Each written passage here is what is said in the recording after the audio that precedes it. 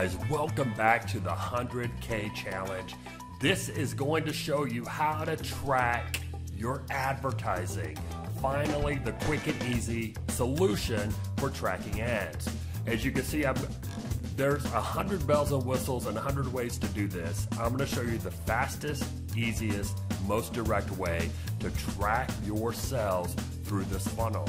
Okay, so as you can see, what's going to happen is the sales total here is going to pop up right here along with your traffic sources. This is going to tell you where your traffic sources are getting, where the sales are coming from.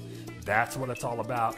That way you can continue with that ad, you continue placing those ads, you can ramp those ads up, you can delete some of the ads that are not converting. Let's get started.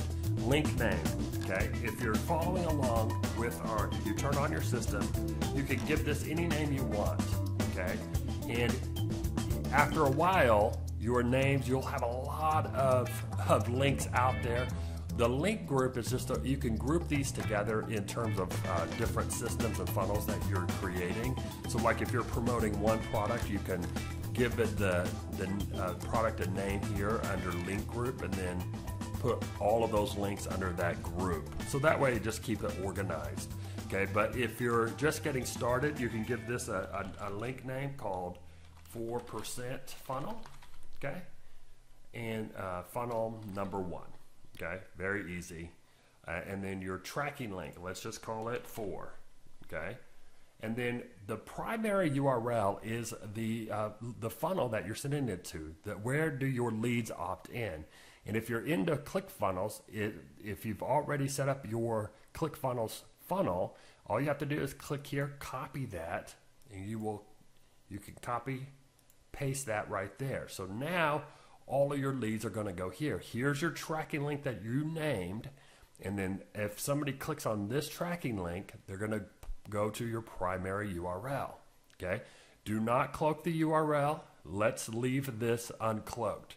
I've run into some problems sometimes when you cloak it because some of the cookies don't get set properly.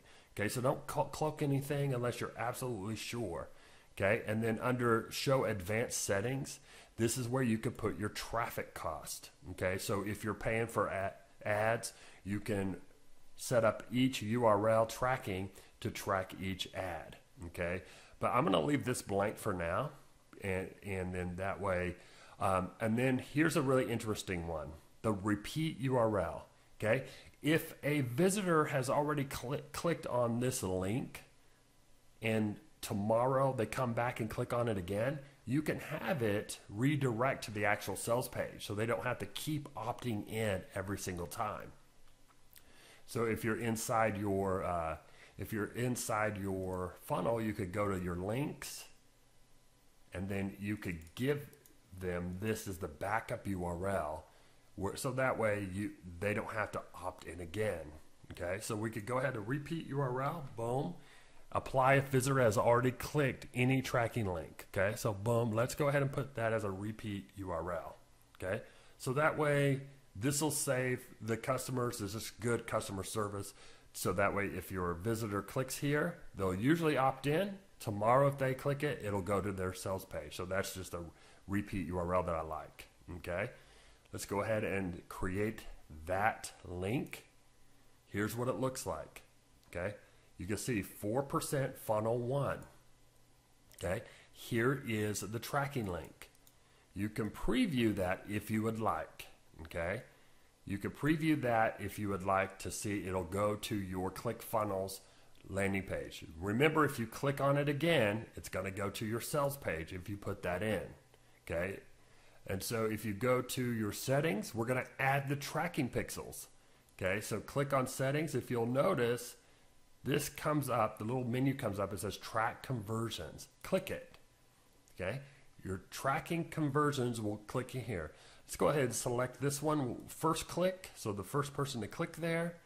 Okay, and then what we'll do is we'll add this sales tracking pixel. Let's go ahead and copy this tracking pixel. Okay, we're tracking sales. If you want, you can track engagements where you can determine the number of opt ins by the engagement pixel.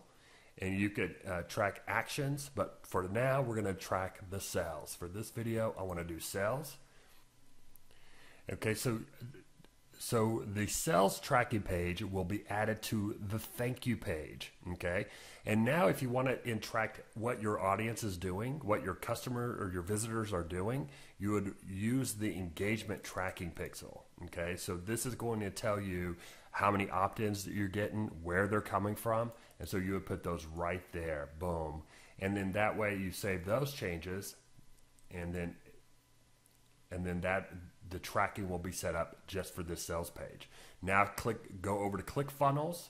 Okay, if you want, you can go ahead and go to settings here and keep in mind the sales tracking pixel is for the thank you page only right here. Okay, that'll track the one sale when they reach that thank you page. Okay, uh, uh, now on the ClickFunnels, you go to engagement tool here and then you want to add that to your body tracking code here under settings. Okay, and then once you paste that in, you can go ahead and save and update changes. That's easy. Okay, now that it's done, 100% it's done. Now what happens is you could go to, remember I set up this tracking link. Remember here's my tracking link. Now, whenever I have an advert ad, what you would do is uh, under the ad, you under Notepad, you would do your uh, so if this is the tracking link, this would be ad one, ad two, ad, ad three.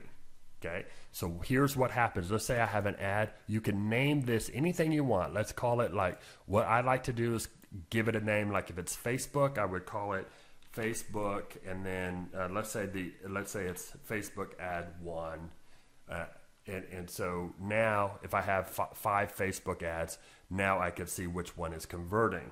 Okay, ad two would be let's say I have a uh, YouTube video ad, uh, vid, YouTube ad one, YouTube ad two, YouTube ad three, YouTube ad four.